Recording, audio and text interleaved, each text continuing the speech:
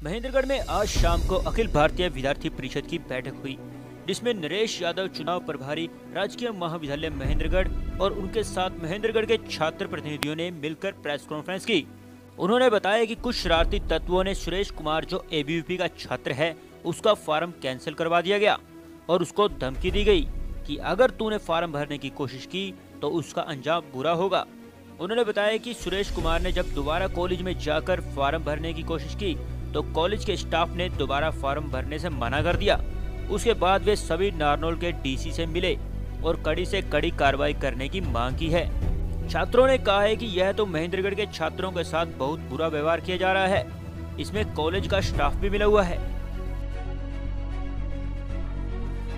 छात्र संघ अध्यक्ष हरियाणा केंद्रीय विश्वविद्यालय के नाते जो छात्र संघ चुनाव 2018-19 के हो रहे हैं, उसके नाते मैं महेंद्र कॉलेज के प्रभारी के नाते जिस प्रकार से कल नामांकन हुए महेंद्र कॉलेज में टोटल सात नामांकन हुए, उनमें से आज नामांकन वापस लेने का दिन था।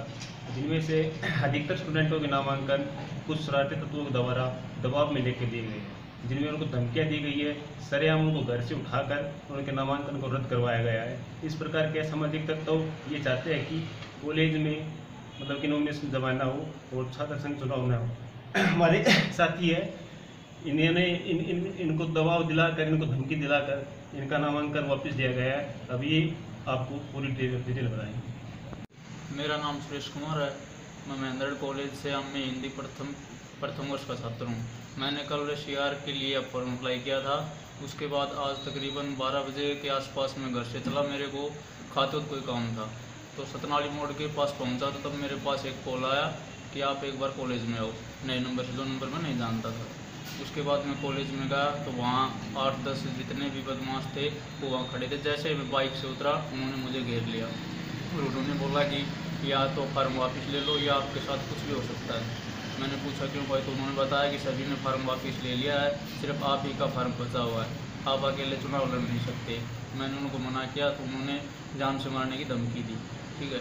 उसके बाद मेरे को अंदर ले गए। अंदर ले जाने के बाद जो डिजोटेड फार्म था, उसके ऊपर साइन करवाए तो उस टाइम भी वो मेरे पास खड़े थे।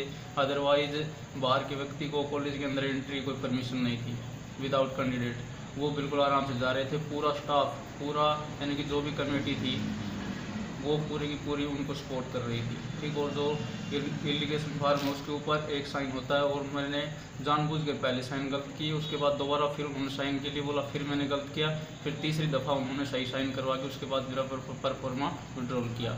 उनके जाने के बाद जब मैं दोबारा कॉलेज में गया तो मैंने कहा कि मैं दोबारा चुनाव लड़ना चाहता हूँ, उन्होंने मेरे ऊपर एंटर प्रेशर डाला था जान से मारने की धमकी दी थी।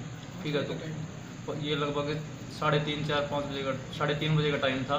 उन्होंने मेरे को डायरेक्ट मना कर दिया कि आप कुछ नहीं हो सकता। उसके बाद मैं ए बी का अध्यक्ष मिला, भाई साहब से। उसके बाद ए डी सी नारनौल गए। उन्होंने कल 11 बजे तहसीलदार साहब एस डी एम साहब कॉलेज प्रिंसिपल और मेरे को सभी को हम बुलाए और तत्काल जाँच के आदेश दिए। डीएसपी साहब का फ़ोन मिला तो उन्होंने बाद में मतलब जब कार्रवाई करने का समय था, उस टाइम नहीं किया। उन्होंने खाली उन शरारतों की एक गाड़ी उठाकर हमें दिखाना चाहे कि हम कार्रवाई कर रहे हैं। ना उस गाड़ी को उठा लिया, ना तत्वों को पकड़ा। किसी प्रकार के ऐसे कैंडिडेट को नहीं पकड़ा जो कॉलेज में माहौल ख़राब कर रहे थे, क्योंकि कॉलेज के अंदर बिना आई कार्ड कोई एंट्री नहीं कर सकता था। ऐसे अनेक कार्यकर्ता थे जो बिना आई कार्ड में एंट्री कर रहे थे।